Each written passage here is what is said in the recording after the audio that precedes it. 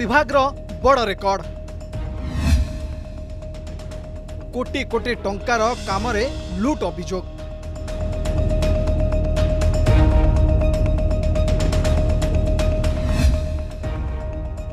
ଜିଲ୍ଲା ସାରା ସ୍ଥିତି ସମାନ।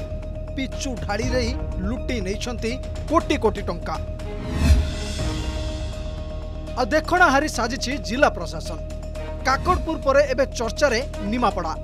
ମନ୍ତ୍ରୀ ତୁଷାରକାନ୍ତି ବେହେରାଙ୍କ ପରେ ଚର୍ଚ୍ଚାରେ ରାଜ୍ୟ ସରକାରଙ୍କ ପାୱାରଫୁଲ ମିନିଷ୍ଟର ସମୀର ରଞ୍ଜନ ଦାସ।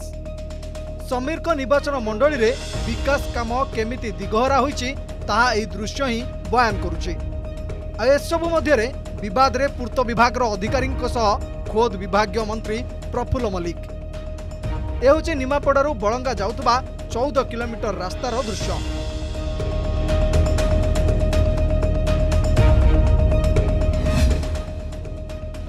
ରାସ୍ତା ପାଲଟିଛି ମରଣ ଯନ୍ତା ଛଅ ବର୍ଷରେ ହେଲାଣି ସାତ ଥର କାମ। ପ୍ରତିଥର ଖର୍ଚ୍ଚ ହେଉଛି କୋଟି କୋଟି ଟଙ୍କା। ହେଲେ ରାସ୍ତାର ଅବସ୍ଥା ଯଥା ପୂର୍ବମ୍ ତଥା ପରମ୍ ଦେଖନ୍ତୁ ପୂର୍ତ୍ତ ବିଭାଗ ଏମିତି କାମ କରିଛି ଯେ ରାସ୍ତା ଫାଟି ଆଁ କରିଛି। ଆଉ ହାତରେ ମଧ୍ୟ ଉଠୁଛି ପିଚୁ। ଆଉ ଏ ନେଇ ମୁହଁ ଖୋଲିଲେ ଲୋକଙ୍କୁ ଶାସକ ଦଳର ଲୋକମାନେ ଦେଉଛନ୍ତି ଧମକ ଚମକ। ସତେ ଯେମିତି ପୁରୀରେ ପିସିର ଖୋଲିଛି ପସରା। ଆଉ ବିକାଶ କାମ ନାଁରେ ଏଠି ଚାଲିଛି ଲୁଟତରାଜ। ବଳାଙ୍ଗ ରୋଡ଼ କାମ ହେଇଥିଲା ଏ ଫାଟିକି ଆଁ କରିଛି ଗାଡ଼ି ମଟର ଯାଇକି। ଏ ତ ଯିବା ଆସିବା କରେ ହଇରାଣ ଆଉ। ରାସ୍ତା ତ ବର୍ଷ ହେଲା କାମ ହେଇଥିଲା ଫାଟିକି ଆଁ ଗଲେ ଗାଡ଼ି ମଟର ଯିବାକୁ ପାଣି ବେଦା ହେଇକି। ଆଜ୍ଞା ରାସ୍ତା ତ ଏମିତି ବର୍ଷା ଦିନ କାମ ହେଇଥିଲା ସେ କ'ଣ ମନକୁ ଫାଟି ଯାଉଛି ଗାଡ଼ି ବାଡ଼ି ଯିବାକୁ ଅସୁବିଧା ହେଇଛି ଆଜ୍ଞା ଏମିତି ବଳଙ୍ଗା ନିଆଁପଡ଼ା ରୋଡ଼ ଏଇ ଅସୁବିଧା ସବୁ ଆମେ କହିବା କଥା କ'ଣ ଅଛି ଆଜ୍ଞା। ଆଜ୍ଞା ଉଠି ଯାଉଛି ତ ଛୋପଡ଼ା ଥିଲା ବେଳେ ଉଠୁଛି ଫାଟି ଯାଉଛି ଆଉ। ଅସ୍ତରଙ୍ଗ ନିମାପଡ଼ା ଓ କୋଣାର୍କ କାକଟପୁର ରାସ୍ତା ପରେ ଏବେ ଚର୍ଚ୍ଚାରେ ନିମାପଡ଼ାରୁ ବଳଙ୍ଗା ରାସ୍ତା। ମରାମତି ନାଁରେ ହୋଇଛି ନିମ୍ନମାନର କାର୍ଯ୍ୟ। ଦୁଇହଜାର ପନ୍ଦର ମସିହା ନବେ କଳବର ସମୟରେ ଏହି ରାସ୍ତା କାର୍ଯ୍ୟ ସମ୍ପୂର୍ଣ୍ଣ ହୋଇଥିଲା।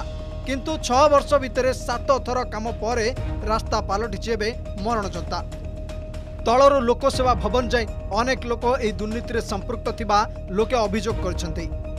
କାମ ହେଇଥିଲା ଏଇ ନଗଦରେ ବୋଧେ।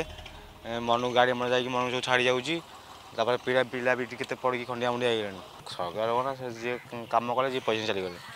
ଆଉ ଇଏ ଚେ- ଯୋଉଠି ବର୍ଷକ ରହିବା କଥା ସେଠି ଛଅ ମାସରେ ଉଠି ଯାଉଛି। ରାସ୍ତା ଖରାପ ଲାଗେ ଲୋକ ଆକ୍ସିଡେଣ୍ଟରେ ସମ୍ମୁଖୀନ ହେଉଛନ୍ତି। ସରକାରଙ୍କୁ ନିବେଦନ ରହିଲା ଯଥାଶୀଘ୍ର ରୋଡ଼ର ପରା- ମରାମତି କରାଯାଉ।